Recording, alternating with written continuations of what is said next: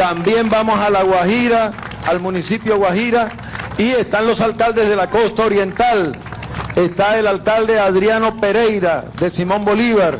Está el alcalde William Pereira de Santa Rita. Está el alcalde Harvey Rondón del municipio Baralde. Está por aquí también.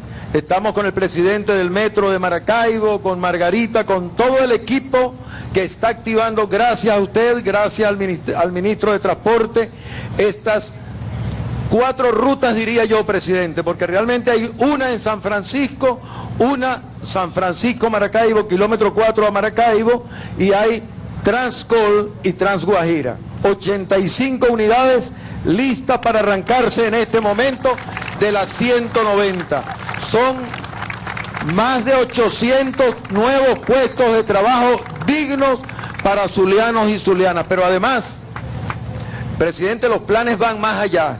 Lo que hemos venido conversando con el propio ministro Jaime El con su eh, dirección, es fundamentalmente integrar el Zulia. El Zulia tiene una especificidad muy particular.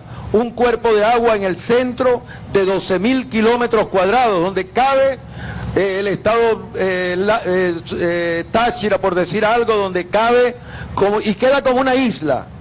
El estado Carabobo, el estado Miranda, muy grande ese lago y en lugar de verlo como un inconveniente, estamos planteando las rutas que van por la costa oriental, pero el sur del lago cubrirlo con un translago que van a ser lanchas, tenemos las primeras cuatro en una alianza con PDVSA y que van a fortalecer Transur del Lago, que va a cubrir desde el municipio Sucre hasta Jesús María Semprún.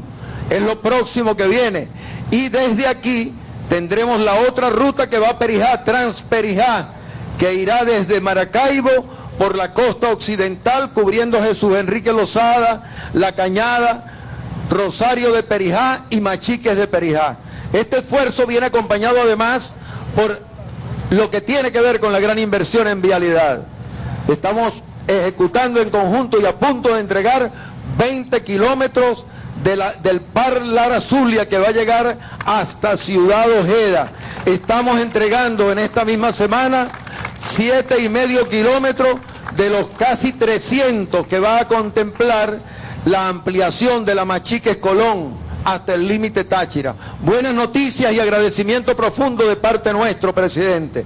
Una disposición extraordinaria. Es bueno que pudiéramos oír a nuestros alcaldes, si usted me lo permite, el alcalde bolivariano de San Francisco, donde estamos en este momento y donde está despegando la ruta del transporte digno para el Zulia. Muchísimas gracias, presidente.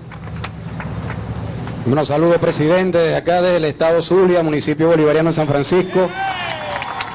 Agradecerle en nombre de este Estado este sistema integral de transporte que quiero resaltar en el caso del municipio de San Francisco es el sistema de transporte más moderno que ha podido llegar a este municipio camarada gobernador, camarada presidente, y agradecerle en nombre de nuestros ciudadanos de San Francisco esta posibilidad. Vamos a tener 22 subestaciones en San Francisco, bien dispuestas en sitios estratégicos, zonas educativas como nuestra zona universitaria, zonas de salud, zona de trabajo también en la zona industrial, para poder verdaderamente satisfacer esta necesidad. Estos 22 puntos van a estar incorporados a las otras rutas. Nos conectaremos con Maracaibo, con el metro de Maracaibo y desde acá de este punto, cerquita del puente Rafael Urdaneta del lago de Maracaibo, vamos a servir de enlace para nuestra costa oriental. En nombre de nuestro pueblo de San Francisco, en nombre de nuestro conciudadano del Zulia, muchas gracias señor presidente. Le paso al señor gobernador.